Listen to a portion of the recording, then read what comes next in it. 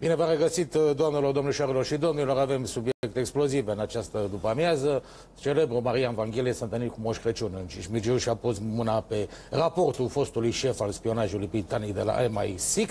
Avem aici niște dezvăluiri din acest raport, îl vom prezenta la ora 17, fiindcă conține lucruri extrem de interesante, dar avem și un alt caz care a făcut uh, la timpul lui furor în România, pe 1 decembrie 2015, când românii stăteau cu sarmalele pe masă, un anunț al seriei anunța că doi secui ar fi pus la cale un atentat la târgu secuiesc. În primă instanță, cei doi au luat uh, niște condamnări minime cu câteva luni de închisoare, dar în final, la înalta curte de casație, au primit 5 ani de închisoare. Zilele trecute însă, în alta curte de casație și justiție a acceptat calea extraordinară de atac a celor doi secui condamnați pentru acuzația de terorism, cei doi secui Ișvan Beche și Zoltan Soci și urmează să uh, judece în 23 aprilie uh, acest caz din nou, să vedem ce se va întâmpla. Decizia în altei curs de miercuri este definitivă.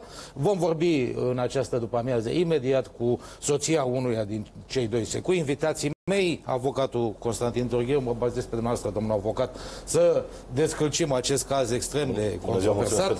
Jurnalistul Horia Alexandrescu, Alecu Racovicianu de la evenimentul zilei și istoricul și teologul Florian Bichir. O avem cu noi prin telefon și pe doamna Cilcla Beche.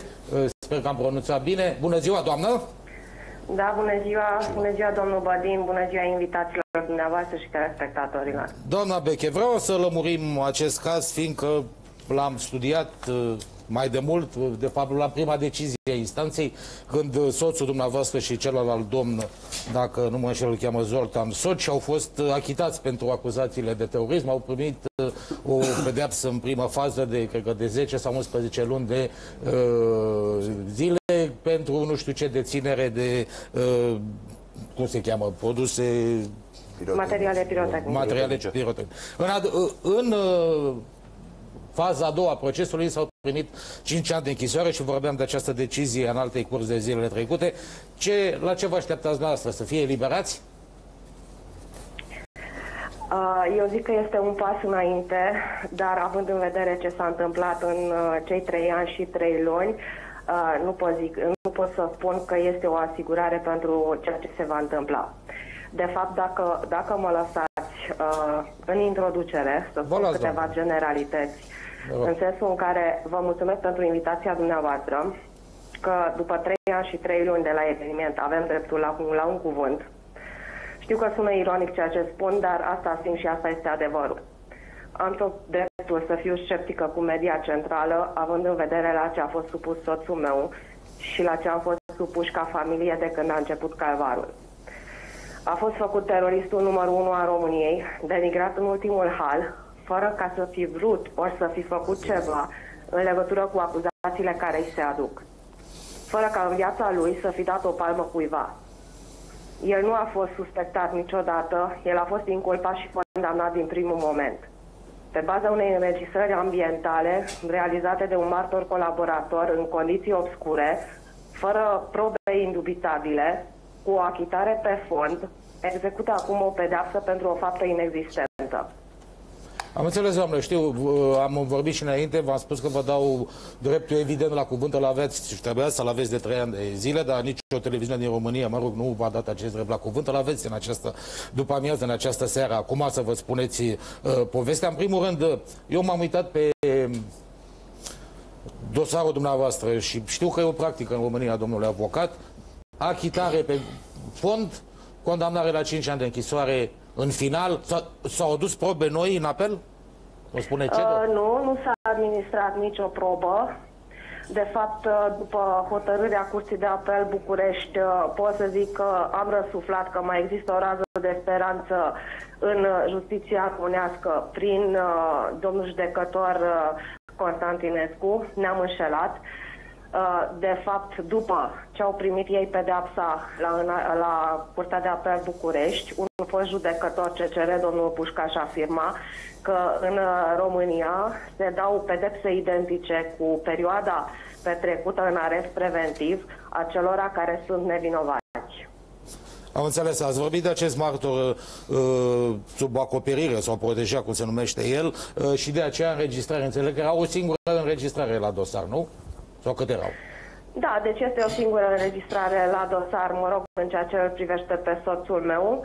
Uh, acesta a fost realizat de un martor colaborator care a fost ult, uh, ulterior uh, sau retroactiv uh, avizat, uh, care a înregistrat convorbirea respectivă la care a participat de trei ore jumate, după care această convorbire s-a tăiat, s-a montat, s-a depus uh, către autorități care au făcut o traducere tendențioasă cu lipsuri uh, pe care noi am reușit să le dovedim uh, cu niște grafice și curbe că într-adevăr sunt tăiate.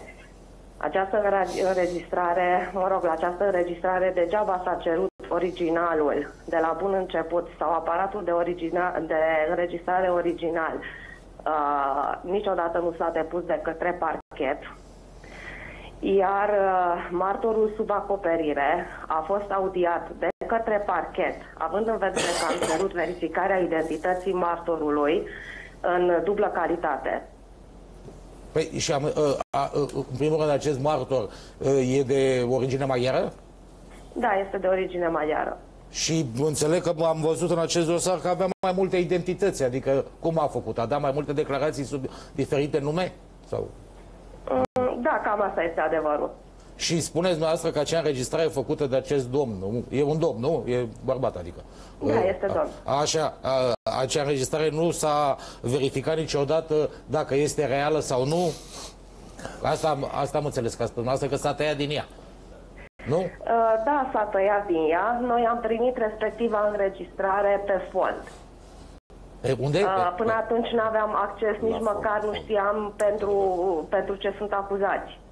Am înțeles și traducerea acelei discuții. Adică am înțeles că și acolo e o problemă. În primul rând, se spune sau nu se spune în înregistrare fapta pentru care sunt acuzați cei doi, inclusiv soțul dumneavoastră. Deci, uh, în acea înregistrare, și vă spun că am ascultat, am ascultat-o timp de șase ore cu casca pe ureche și cu un program ajutător ca să pot să deslușesc ceva, uh, această concluzie, de fapt, uh, este susținută și de interpreta parchetului, că nici măcar 5% nu se poate înțelege din toată convorbirea. Deci nicăieri în această convorbire nu se aude termenul de bombă și nicăieri nu se aude că Beca Istvan și-ar fi asumat ceva. Am înțeles, dar uh, acea percheziție, uh, ce s-a găsit la percheziție? Că au spus de niște artificii, petarde, ce, ce au găsit acolo? Deci uh, ce a fost la percheziție și presupusele componente din care trebuia să facă bomba, uh, s-a realizat într-o rază de 25 de kilometri, în primul rând la domiciliul nostru, la firmă, la magazin și la Estelnic, unde avem un graj dezafectat în care organizam jocuri Airsoft. Acolo era instalat un echipament de joc electronic. Nici de la poligon, nici de la magazin nu au reținut nimic. Da, avem imagini pe ecran, da, de la percheziție. Uh, da. Ce au reținut uh, copiii noștri de 10 și respectiv 13 ani n-aveau dreptul să plece de acasă, au fost forțați să participe la mascaradă, i-au luat laptopul fiicei mele și restituit apoi la câteva luni, pentru că avea un folder cu numele de tata, adică OPO, și pentru că nu știa din prima ce conține folderul respectiv, au reținut laptopul. Au filmat caiete de lucru de engleză ale copiilor, pe care scria snapshot pe motivul ce, în ce educație le dăm copiilor. Uh, când le-am arătat ce conține uh, caietul respectiv, domnul care filma a început să râdă și a ieșit. Uh, în momentul în care mi-au deschis inclusiv frigiderul și le-am întrebat după două ore, domnule, spuneți-mi ce naiba căutați, mi-au spus atunci că arme și explozibil. Uh, bineînțeles că nu s-a găsit așa ceva. Avem o cămăruță lângă garaj unde ne ținem articolele sportive. De acolo au luat un echipament Airsoft uh, cel pe care îl arătați și în poză, făcut de soțul meu cu ani în urmă, cu un joc uh, setat cu diferite, mă rog, un joc uh, de Airsoft setat cu diferite tipuri de jocuri, cu logo-ul, echip, cu logo-ul echipei pe care am desfăcut-o eu personal cu o șurubelniță specială pentru că nici măcar aia nu o aveau. Deci ideea e că acest echipament a fost denumit ulterior echipament DI, deci dispozitiv exploziv improvizat. Mă lăsau pe mine să desfac așa ceva. Dacă era adevărat ce s-a spus ulterior, nu știu, doamnă, uh, noi vă prezentăm, imediat o să facem o discuție și cu cei din studio, dar, uh, deci, dumneavoastră, soțul nostru are un club de ăsta de airsoft, cum se cheamă asta, nu? Așa am înțeles. Uh, avem o echipă de airsoft, practicam airsoft-ul amândoi. Așa, în instanță, un expert sau o expertiză a indicat faptul că ce au găsit la noastră, nu știu ce au găsit, ce spuneți dumneavoastră că s-a găsit, că acele lucruri puteau fi folosite pentru fabricarea unei bombe?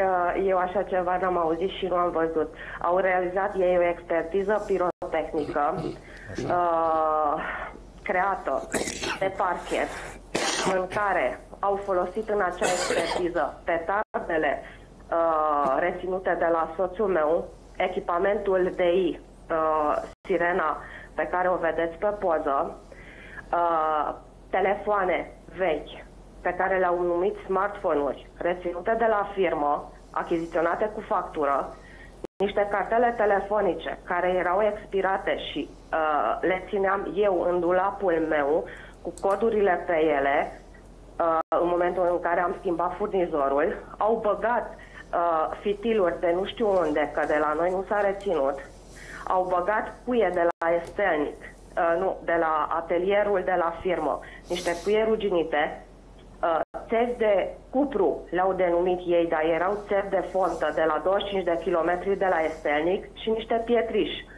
Plus că soțul meu trebuia să scoată praful din acele petarde și din acele artificii ca îmbinat să fie detonat uh, prin, prin, acest, prin această sirenă. Mm-hmm. Uh, dar spuneați de firmă. Ce firmă aveți asta acolo? Cu ce se ocupă? Uh, da, avem o firmă de sisteme de securitate. Încercăm să, să supraviețuim având în vedere atacurile pe care le-am primit. Deci sisteme de securitate înseamnă că sunteți oarecum inițiați în lucruri din acestea, nu? Da. Și firma de Da, și anul acesta împlinim 20 de ani, deci avem ceva vechime în piață. Asta înseamnă că ați colaborat și cu, să zicem, cu companii sau persoane din domenii mai sensibile, ca să spunem așa. Da. Și deci erați cunoscuți? Da, și suntem. Și imediat după cele întâmplate, în prima lună, deja am început să primesc oferte cu cât uh, aș vinde firma și așa mai departe. Oferte de unde? Din zona maghiară sau din zona românească? Nici nu contează. Uh, nu cred că contează și nu cred că este relevant. Uh, ideea e că le, este la o distanță de un județ. Dar din ce sugerați dumneavoastră este că cineva va avut firma? Uh, nu cred că din cauza că cineva ne-a vrut firma s-a creat acest caz. Am înțeles, am întrebat. Din cauza faptului că să rămâne, estimată doamnă. Domnul avocat aici în studiu, vreau să vă întreb ceva. O singură, o singură întrebare am, că în rest pot să, mă rog, pot să-mi spun opinia referitor la ceea ce am văzut până acum. Uh, spuneați că nu, cineva, vreau să vă întreb dacă anterior descinderii cineva v-a făcut vreo ofertă de preluare a firmei, am înțeles că nu. Întrebarea este următoarea. Uh, firma era, mă rog, avea suficienți clienți, ajunsese la un nivel suficient de dezvoltare încât să deranjeze alte societăți de profil, adică să fie un concurent real pentru alte societăți de profil din zonă? Da, răspunsul este da. Uh, nu suntem la un nivel foarte ridicat, însă având 20 de ani vechime și destul de mulți clienți, uh, suntem considerați o firmă destul de corectă în zonă mai ales că zona județului Covasna cât de cât uh, o dominăm. Și o încă întrebare strict tehnică și las, îi las pe colegii mei de platou. În timpul uh, cercetării judecătorești la fond, ați solicitat și s-a consemnat în încheierea de ședință faptul că ați solicitat uh, uh, expertizarea acelei convorbiri, pentru că dumneavoastră a spus două aspecte. Una, traducerea, un aspect, traducerea nu a fost conformă, în sensul că nu s-a tradus corect din maghiară în română și doi, au fost, uh, au fost, uh, au fost tăieri, au fost uh, uh, chestii puse cap la cap, adică ticluită acea înregistrare. Ați solicitat acest lucru? expertizarea? Da, am solicitat acest lucru, dar am solicitat de multe ori. Uh, în schimb, pe fond, în urma deciziei domnului judecător, s-a văzut că baza deciziei, deci această înregistrare, nu a fost luată în considerare, la, cum, la fel și cum uh, mărturia martorului sub acoperire era sub semnul întrebării și a credibilității. Ale Curăcovicianu. Bună ziua, doamnă.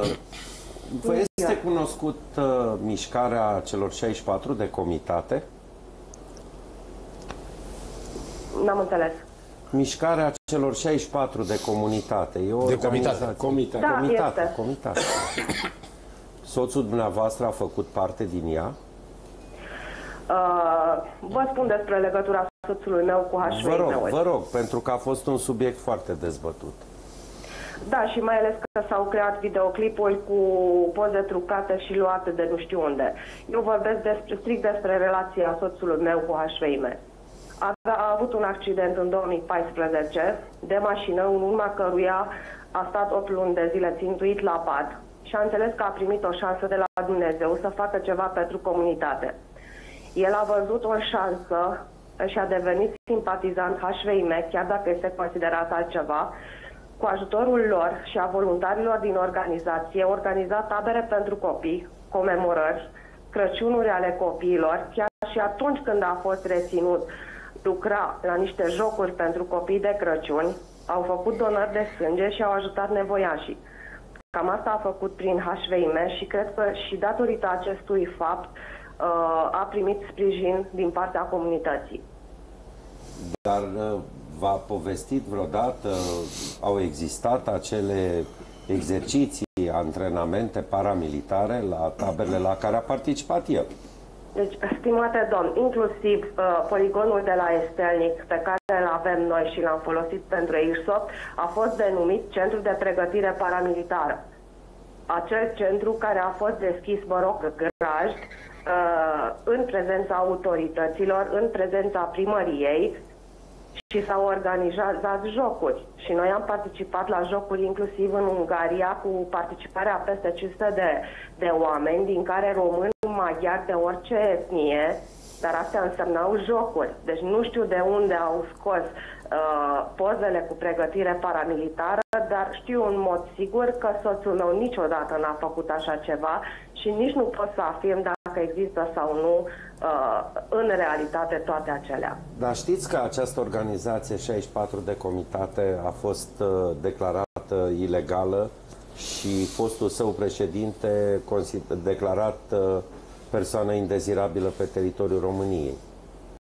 Da, asta știu și am văzut rechizitoriu ca să pot să spun că întreaga nație uh, a secuilor uh, se încearcă să se prezinte astfel, pentru că în rechizitoriul respectiv uh, se face o prezentare istorică de vreo 30 de pagini pentru a prezenta contextul în care activa HVIM-ul, de la explozia statuii de la Sfântul Gheorghe, când noi eram copii, sau ce s-a întâmplat la evenimentele de la Târgu Mureș, sau, m- mă rog, domnul Ija Bălaș, care organizează uh, Ziua Maghiarilor uh, de la Târgu Mureș, toată lumea este prezentă. Am înțeles, dar, mă rog, despre această organizație s-au spus foarte multe lucruri în presa centrală românească de aici. Sunt și aceste fotografii, la aceste fo- fotografii, nu știu dacă aveți un televizor în față, vă referați mai Da, am devreme. televizorul în față, dar vă rog frumos, arătați-mi o fotografie cu poza soțului. Nu, Pe toate aceste da. fotografii sau, mă rog, cu cagulă, cu orice. Nu, nu avem o, o poză într-adevăr cu soțul dumneavoastră acolo. Sunt Nici nu puteți să aveți. niște membri care nu știu de unde... Îi cunoașteți pe vo- pe unul dintre ei, apropo? Din ce vedeți la televizor? Din câte văd poza, nu. Ideea următoare, stimată doamnă, uh, scuze, domnul Domnul Racovicianu nu, nu vrea să fie tendențios, dar avea foarte, foarte mare dreptate. Soțul, dumneavoastră spuneați ca o justificare că soțul dumneavoastră, după acel accident nefericit, a vrut să facă fapte bune pentru comunitate. Observ cu deferență că acele fapte bune chiar puteau fi făcute sub form direct, personal sau cu, prin sprijinul unei asociații sau fundații, nu prin, nu prin intermediul acestei asociații declarate în afara legii. Este foarte adevărat. Poate există o exagerare și de partea asta. Vă o secundă, mă rog să-mi permiteți. Deci dumneavoastră vorbiți acum de asociația aceasta din Ungaria sau cea care activa aici în zonă? Cea care Pentru că nu se cunoaște contextul în care acești băieți, în momentul în care au fost inundații, cărau saci la Ruseni. De acord, toată asta ziua e- și nu... Uh, nu mi se pare că această doamnă, organizație... n-ați- n-ați în înțeles, acest nimeni nu timp- contestă Coerent, faptele vă rog, bune. O secundă, o secundă. Cele două activități nu sunt incompatibile. Corect. A ajuta comunitatea, a organiza petreceri de Crăciun, a salva localități din calea inundațiilor, Locuiți nu tot sunt maghiar. activități incompatibile cu cele din uh, documentele care au determinat o curte de apel să o declare uh, nelegală. Da, aveți dreptate. Exact asta am spus și eu. Deci, doamna, Horia Alexandrescu. din punctul meu de vedere, sentința primită acum, deci mi se pare una corectă, pentru că ea nu face decât să repete situații similare din multe alte dosare care au apărut în anii din urmă. A, adică recursul acesta. Dar nu, De, că- de recurs E vorbim. greșit, nu, nu e așa. Nu, aici e greșit. Nu, nu M-am exist- și speriat acum care dintre sentințe, nu, că nu, s-a nu, acceptat nu, recursul. domn- nu, Dar nu, nu eu trebuie să vorbesc de speriați, Curtea nu de suntem Apel. judecători. Dom- Domnul Horea Alexandrescu se referea la soluția cu care începuse domnul știu, uh, exact, uh, da. Andrei Bădin, ideea următoare, ca să înțeleagă toată lumea. Nu e o sentință definitivă care statuează ceva. Ați formulat o cale extraordinară de atac Exact. și potrivit codului de procedură penală, una din cele trei căi extraordinare de atac, contestație în anualare, revizuire sau uh, recurs, în, uh, recurs în casație, prima dată, instanța ce face? Const- ve- examinează dacă acea cale extraordinară de atac se circunscrie dispozițiilor legale. A fost formulată în termen și uh, se încadrează în, uh, în prevederile acelui articol care o prevede. Dacă da, admite în principiu, ceea ce nu înseamnă nimica, admite în principiu și mai departe urmează, urmează judecarea. Să se vadă, este fond, fondată sau nu. Ea poate fi admisă sau respinsă în egală Horia măsură. Alexandrescu, că el, el nu e... Deci, în sensul de ăsta, meserie. în sensul ăsta Da. Am spus și eu, doamnă, să nu vă Dar eu speriați. înțeleg, dar uh, Da, ce dați-mi voie. garanție avem în sensul în care am depus acest recurs în casație, că, că se, re, re, se va rezolva favorabil în momentul în care uh, persoanele achitate în primă instanță pot fi condamnate în apel doar dacă apar probe noi sau dacă probele inițiale sunt readministrate astfel încât să infirme achitarea din prima instanță. Nu s-au depus probe, nu s-au re- readministrat probe care să infirme. Uh, După ce între ce garanție avem? Deci, doamnă, noi nu suntem o instanță de judecată, da? Suntem niște gazetari și un, un avocat care încercăm să ne lămurim ce s-a întâmplat. Din punctul meu de vedere, eu semnalizez ceea ce ați spus, de sunt de acord cu dumneavoastră. Faptul că a fost o transcriere ciuntită, falsificată, e un lucru care s-a petrecut curent în ultimii ani în instanțele de judecată. Și asta, din punctul meu de vedere, ridică un mare semn de întrebare în privința condamnării. Pe de altă parte, uh, traducerea respectivă, da, cu alte probleme. Mi-ați spus că numai 5%, am înțeles, 5% a fost recunoscut drept corect din acele ore de interceptări. Deci Nu, și aici, inteligibil. inteligibil, mă rog, e același lucru, deci în sensul ăsta. Mai rău. Din punctul meu de vedere, da, eu cred că a fost un exces de zel al autorităților locale, faptul că nu există probe punctuale, da, faptul că s-au găsit niște petarde, hai să fim serioși. Deci este o chestie trasă de păr, dincolo de faptul că sigur rămâne discutabil faptul că uh, totul s-ar fi petrecut de ziua națională. Ceea ce e în orice caz de nedorit. Păi s-a petrecut cu o zi înainte, pentru că perchezițiile s-au, af- s-au efectuat pe data de 30 a 11 a 2015, de dimineață până seara. De ce Dumnezeu cu o zi înainte, sau mă, mă rog, în ziua în care Da, cu o zi se după, zicea după că ar bine. trebui să fie, nu s-a organizat un flagrant? Doamne, ca, ca, ca să fie preîntâmpinat un posibil, mă rog, flagrant sau ce, atentat, cum se spunea. Dar nu dați vina pe, pe presa de la București, pentru că presa nu are ceva împotriva dumneavoastră sau a familiei sau a celor doi condamnați. Dacă n-ar fi avut, nu ar fi prezentat familia cu fețele descoperite ale copiilor. Aici aveți și... dreptate integral. Aveți s-ar fi verificat cât de cât, uh, mă rog, nu sursele judiciare, dar măcar ceea ce s-au afirmat atunci, în zilele respective. Presa nu avea cum să verifice altceva decât era la dosar și să nu uităm Informațiile că care au fost primite. Dosarul de urmărire penală, de urmărire penală uh, era tentativă la infracțiunea de atentat contra unei colectivități. Așa s-a pornit. În faza curții de apel s-a schimbat încadrarea juridică în tentativă la infracțiunea de nerespectare a regimului materialelor explozive. Da, este adevărat, de la o sentință la instanța de înfond, care era 11-10 luni cu, uh, cu executare, ca să fie exact cât, uh, cât s-a făcut din arestul preventiv la o soluție de 5 ani cu executare, nu se putea aduce decât uh, în baza administrării unor probe noi. Foarte corect acest, acest, acest aspect. Florian Bichir. Da, m-a zăpăcit domnul avocat, e foarte bun, recunosc asta, dar și vreau să avem o discuție am și împreună cu doamna Beche, pentru că cred că nu e o discuție cât de cât uh, corectă. Din ce am apucat eu să citesc chiar acum, din sentința dumneavoastră, soțul dumneavoastră a fost achitat de nerespectarea uh, regimului material explozive. Deci povestea asta, că avea pognitori, ne avea în casă, deja nu mă interesează. Eu cred că are legătură cu apartenența la ce spunea Alecu Radicoviceanu la uh, HVIM. E foarte clar, din moment ce nu a fost achitat de nerespectarea materialului expres.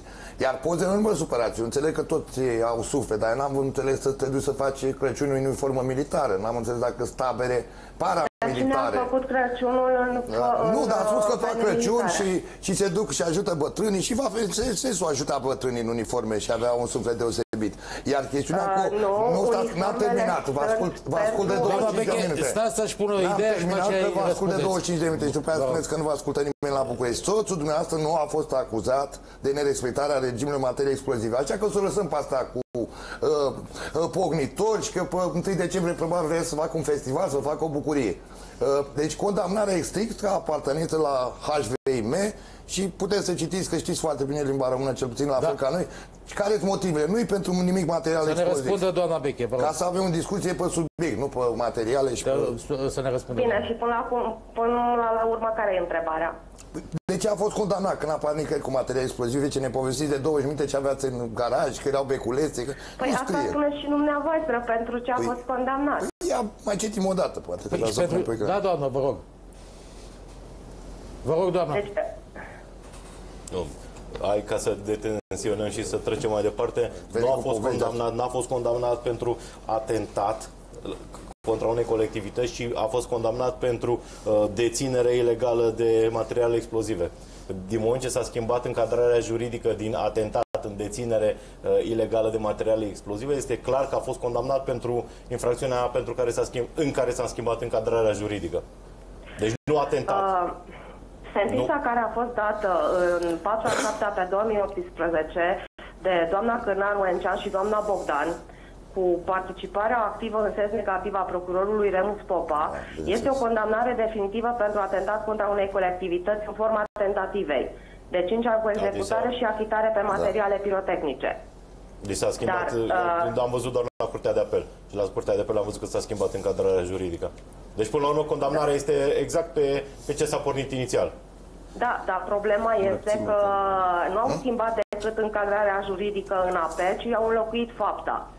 Deci nu a fost sancționată fapta cu a cărei judecare a fost sesizată instanța. Da, asta din punct de vedere procedural nu trebuia să se întâmple, asta e clar. Și poate, poate fi avut, tocmai recursul în casație asta, asta va viza. Și dacă s-a întâmplat lucrul acesta, dacă legea nu a fost respectată, soluția ar trebui să fie corectă, indiferent de patim. Pentru că, exact ce a spus domnul Racovicianu, am susținut și eu. Și începuse să vă inflamați. Faptele bune pot fi făcute prin asociații sau fundații, sub nicio formă prin intermediul unor organizații care intră în coliziune cu interesele statului român. Nimeni nu conteste că acei oameni au ajutat comunitatea maghiară de acolo, este evident. Nu pun întrebarea mai mult sau mai puțin retorică dacă ar fi făcut același lucru și dacă era o comunitate 100% românească, că nu, nu face obiectul, uh, obiectul discuției. Dar din punct de vedere procedural, într-adevăr, din ce spuneți dumneavoastră, drepturile procesuale nu au fost respectate, trebuia făcută expertizarea acelei înregistrări, mai mult decât atât.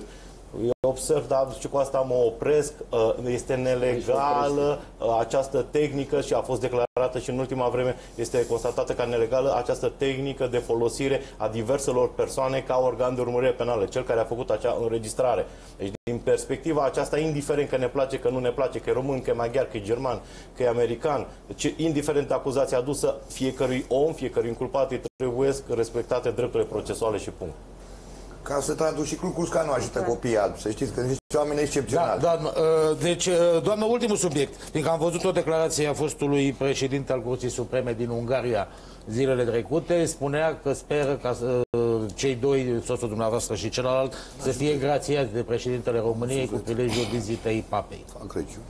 Au jucărit cu negri spânzure. Și doriți uh, opinia mea în acest sens? Păi știu că e o controversă și aici că a cerut, sau a cerut un senator de mere de Covazna o audiență sau să meargă la președinte să-i prezinte cazul și președintele ar fi refuzat și e o supărare pe acest subiect. Uh, supărare nu este, pentru că ne așteptam la acest lucru. Deci, ideea este că nici soțul meu, nici Suiz Zoltan uh, nu sunt de acord cu vreun act de clemență din partea președintelui României, pentru că asta ar însemna să recunoască ceva ce n-au făcut. Și nu vor să fie iertați pentru ceva ce nu au făcut. Da, dar pe de altă parte, domnul Bodin spunea altceva și bine, bine apunctat. Uh, spunea că mă rog, cum era pusă în, în, în scenă ideea. S-a solicitat de către un reprezentant maghiar o întrevedere la, la președinte pentru a discuta uh, uh, grațierea acestor doi, da. două persoane și pe motivul că ar fi maghiari, președintele a refuzat, ceea ce e complet, complet fals, pentru că dacă ați observat, indiferent de câte ori a fost vorba de uh, oameni care au fost condamnați penal, toți români, niciodată președintele nu a luat în calcul astfel de astfel de, uh, astfel de acte de, de clemență. De, ideea următoarea, nu trebuie, nu trebuie mers către, fapt, uh, către faptul că fiind maghiari e o chestie... Dar n-a mers, exact. eu n-am mers. Nu, din ce, din ce, din discuțiile purtate, tocmai asta se inducea în ideea faptul că a fost refuzat deoarece ar fi vorba de doi cetățeni maghiari. Sub nicio formă, sub nicio formă nu are legătură cu da, etnia pur și simplu președintele nu, nu, Am nu, nu prea face da. astfel de gesturi de clemență. Vă rog, doamnă, ultima, ultimile minute, ca să spun așa, dacă mai aveți ceva de completat. Uh, da, mai am ceva de completat. În primul rând, mulțumesc pentru posibilitate și îmi pare rău că atunci că 30 a uh, din tot ce înseamnă media centrală nu a fost interesată chiar să verifice veridicitatea celor difuzate. Uh, dacă se realiza totuși flagrantul acela de care am discutat, atunci nici Becă Ișvan uh, n-ar fi fost nevoit ca în cei trei ani și trei luni de atunci să susțină nevinovăția în mod constant, să, să nu există nicio faptă, ci să nu fi săvârșit infracțiunea de care este acuzat, dar totuși să fie închis, uh, să susțină că nu și-a asumat nimic și că n-a făcut niciun demers nici procurare, nici confecționarea oricărui echipament de ei, că vrea achitare și că vrea ca imaginea lui să fie reparată. Asta e tot ce a vrut. Da, mulțumesc foarte mult, doamna Beche, pentru intervenția dumneavoastră. Am prezentat și acest uh, punct de vedere al doamnei, soția unuia din uh, cei condamnați în faza finală la 5 ani de închisoare pentru deci exact pentru infracțiunea pentru care Așa, doamna a avut dreptul la punctul de vedere, ale cu Racovicianu îți dau ție ultimul cuvânt și pe aceea luăm publicitate. Mie mi-a făcut plăcere să aud pe doamna, pentru vorbește că... perfect românește. Vorbește perfect românește, au o apărare particulată, urmează să vedem ce va fi acceptat în instanță din ea. Eu Dar am parcurs, de întrebare. Eu am parcurs la vremea respectivă înregistrarea ambientală. Și se aude uh, sau nu se aude? Uh, am parcurs transcriptul. A, Acum transcript. doamna spune că Doar nu se auzea, nu e bine tradusă. Ai tăiat? Ceea ce poate fi adevărat. Ar, nu, poate fi adevărat, dar uh, nu cred că uh, două instanțe, una după alta, au fost atât de încălecate de apărătorii Constituției, că de fapt uh, cu domniile lor se ruptă, cu Direcția de Apărare a Constituției din cadrul SRI. Ei sunt Așa. cei care au instrumentat în totalitate dosarul și ăsta și cel legat de mișcarea celor 64 de comitate. Uh, hai să avem răbdare. Da, uh, nu, că nu judecăm noi aici, Doamne ferește. Hai să avem răbdare. Uh, mi-a plăcut și faptul că doamna a recunoscut uh, cu destulă naturalețe apartenența soțului domniei sale la acea mișcare. Lucru care... Simpatizant. Uh, simpatizant, dar oricum nu aveau legitimație. Uh, la doi ani, un an și ceva de la trecerea ei în ilegalitate pe teritoriul României, este un gest de curaj. E o dovadă de curaj, da. Dar și în Ungaria a fost interzisă. Apărarea doamnei, cum zice și ale cu e benefic, că s-au făcut abuzuri în instanțele românești, nu trebuie să facă abuzuri. Eu rămân la o chestiune de fond, că nu mi se pare normal și erau mai multe întrebări, dacă ce să faci cu atâtea pognitori acolo, de ce înveți pe copii să facă pognitori, taberele alea de salvare, care nu sunt chiar de Uh, ok, asta e problema. La urmă, urmei, a căzut, a căzut pe tehnică. De ce a venit cu zi înainte? Pe trebuia să vină după, dacă au avut informații că urmează... Da, bine. Adică nuanțele astea și ne pierdem în amănunte conform. Eu amănuntele sunt mai puțin importante. Ideea doamnei a fost că Uh, respectiva întrunire, uh, ședință a mișcării celor 64 de comitate a fost 64. înregistrată în 10 uh, octombrie iar descinderile s-au făcut tocmai în 31, 30 sau 31 Aia, noiembrie. Rămâne situația. Da, sunt mai multe întrebări, trebuie să luăm o pauză de publicitate Ai și apoi... sale să se apere și bine face. I-am dat rău. dreptul la cuvânt, i-am promis înainte că vom avea o discuție civilizată și normală. Nu suntem... Da, poți să fii, nu fii de acord, dar... dreptul ca cetățean român să se apere și să respecte jos pălăria. Publicitate.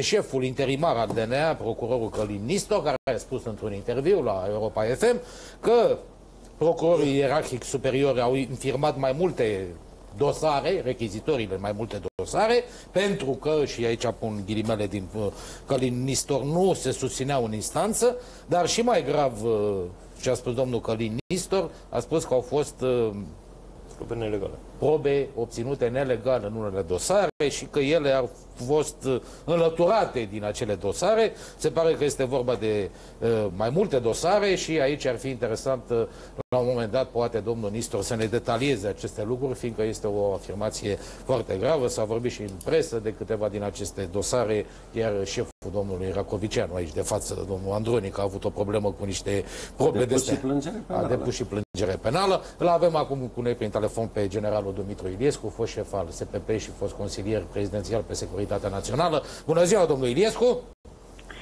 Bună ziua, domnul Bădin! Domnul general, noastră ați fost la Comisia SRI, unde ați vorbit de aceste probe care ar fi fost obținute nelegal. Nu, ne-ați mai spus așa câte ceva din ce a spus la comisie acolo, dar poate acum ne mai detaliați apropo de declarațiile domnului Nistor. Da, este adevărat. În cele două audieri pe care le-am avut la Comisia de Control uh, Activității Serviciului Român de Informații, am făcut uh, foarte multe precizări vis-a-vis -vis de implicarea acestui serviciu în uh, construirea unor dosare penale și nu sunt puține cele pe care le-au construit. Am venit și cu exemple foarte clare uh, privind modul în care au fost construite aceste dosare și ce persoane au fost vizate de ele. De asemenea, modul în care au construit probe în dosare pe care nu le-au uh, construit ei. Mă refer la cele care nu le-au gestionat ei în faza inițială, ci le-au uh, gestionat uh, procurorii din cadrul Direcției Naționale Anticorupție. De asemenea, am făcut afirmații și am făcut precizările necesare privind participarea ofițerilor din Serviciul Român de Informații, participare tot, total legală la derularea actelor procedurale și în special la executarea perchezițiilor, pentru că foarte puțin s-a amintit de acest lucru. Uh, marea majoritate a perchezițiilor care s-au făcut de către cei de la DNA au fost echipe mixte în care și-au găsit locul cei de la uh, DNA, uh, de cei de la SRI. și mai grav este faptul că în, anumi, în unele cazuri, și nu sunt puține cazurile respective, cei care conduceau percheziția nu erau ci procurorii, ci ofițerii Eh, serie. Adică ei erau cei care dădeau indicațiile respective. Un asemenea caz s-a întâmplat și la mine, când m-am trezit cu o percheziție așa sosită din Senin, în care echipa Serviciului Român de Informație a fost prezentă și e, șeful acestei echipe era cel care dirigea pe cei care făceau percheziția. A, deci a trăit-o eh, pe, pe, pe propria piele. O să avem la ora 17, domnul Iliescu, și o să vă rog să vă uitați fiindcă avem uh, niște fragmente din raportul fostului șef MI6 și aici se vorbește despre aceste lucruri, de niște sedii, de, de, cu niște oameni luați pe sus și duți, duși la audiere, nu în sediile DNA, ci în sediile SRI.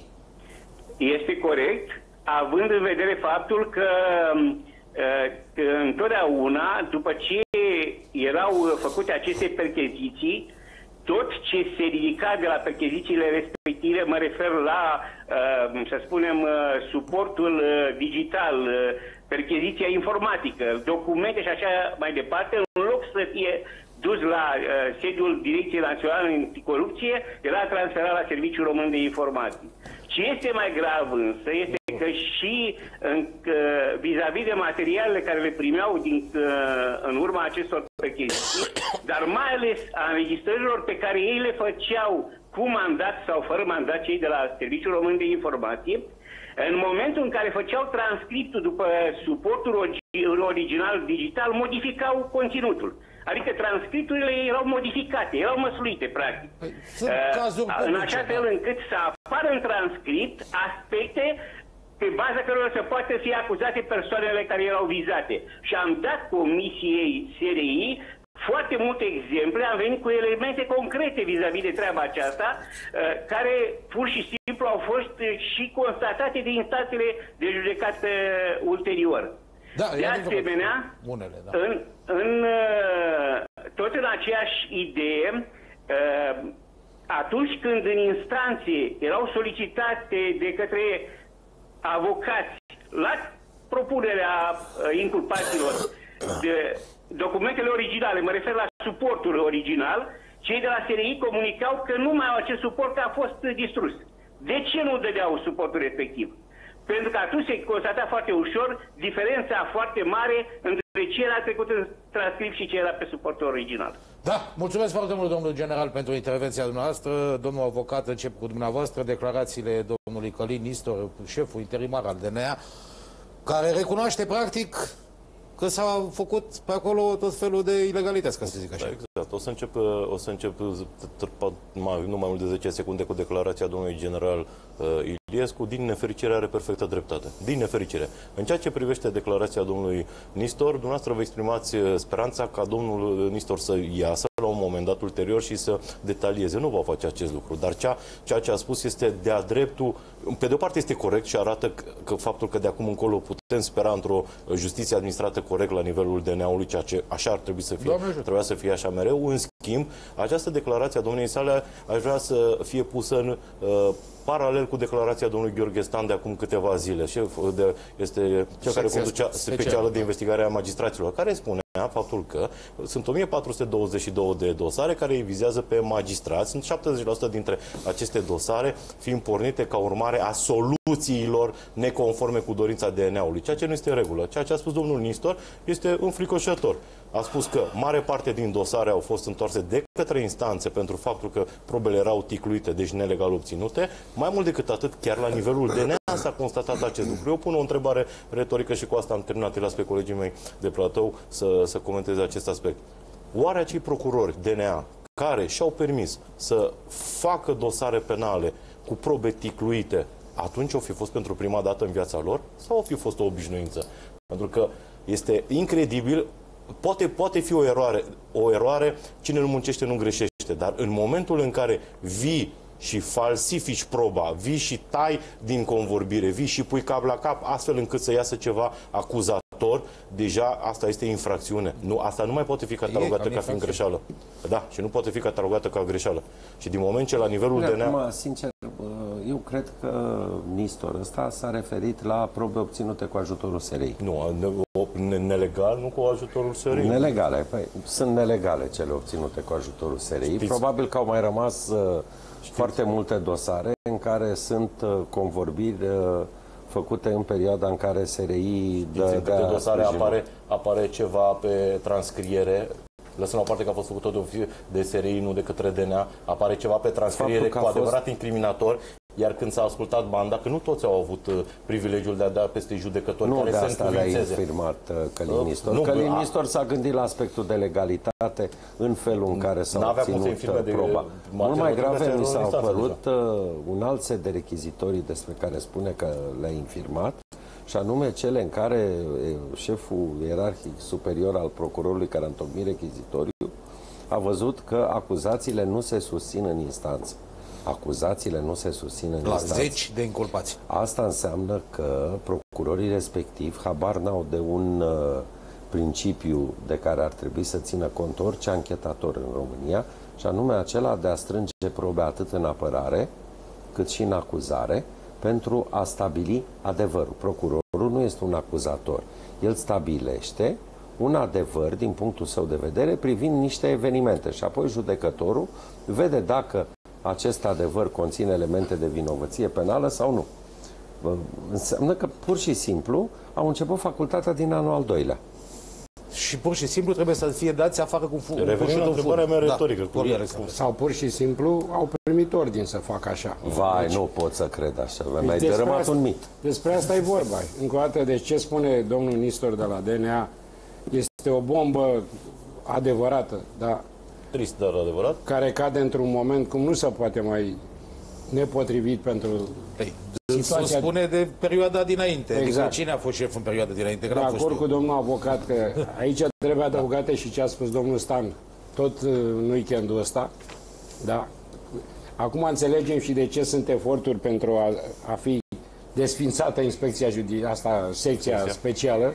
Da? Deci lucrurile sunt îngrozitoare. Eu aștept și raportul, că vorbea de domnul general Iliescu. Da. Noi așteptăm și raportul Comisiei de Păi, Control a deocamdată SRI. avem raportul uh, fostului șef al spionajului bri- britanic, fostul șef al MX6, a fost 29 de ani șef al MX6. La ora 5 vine domnul Vanghile, s-a întâlnit cu Moș Crăciun și a primit raportul. Eu vă citez Florian Bichirție. Ofițerii SRI au amenințat pe amândoi martorii cu condamnări pe viață pentru acuzații de spionaj, spunând că dacă nu vor coopera, echipele de criminalistică din SRI vor deșinde în spațiile de reședință și vor găsi cu ghilimele chestiuni incriminatoare, cum ar fi dovezile că ați colectat informații pentru serviciile de informații din Ungaria. Da, grav. Numai O să- o frază din o să raportul vedem. fostului Eu șef atâta, MI6. atâta știu, nu s-am întâlnit la facultatea de drept, nici măcar am întâlnit și nici nu mă pregătesc. Știu că actul de justiție se, fa- se Scurt, face că n-avem timp. prin uh, marturi, să nu spuneți dacă greșesc, prin marturi, probe și înscrisuri. Atâta timp cât se obișnuițele să le vină banda, pe care nu poate nimeni contesta, nu există, nu există un specialist care să spune dacă e autentică sau nu, s-a ajuns la o nebunie. Da, Așteptăm uh, pe Moș Crăciun luăm și mai publicitate și vine Moș Crăciun cu raportul fostului șef Moș MI6. Crăciun de iepuraș. Da, de iepuraș. Da. Publicitate.